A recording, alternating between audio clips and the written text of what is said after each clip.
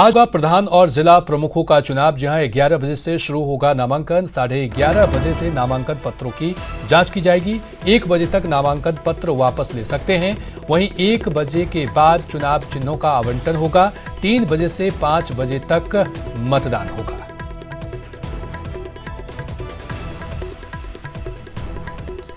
तो एक बजे के बाद चुनाव होगा, तीन से पाँच बजे तक होगा मतदान। आज प्रधान और जिला परिषद के लिए यहाँ पर मतदान होगा।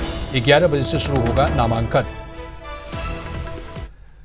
उधर संसद भवन की आधारशिला रखेंगे आज पीएम मोदी।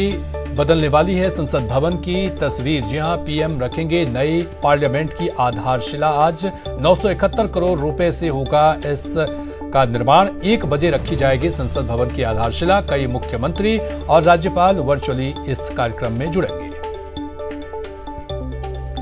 नौ सौ इकहत्तर करोड़ रुपए से होगा नए संसद भवन का निर्माण। एक बजे रखी जाएगी संसद भवन की आधारशिला। और इसी के साथ फ़िलहाल इस बुलेटिन में इतना ही। नमस्कार।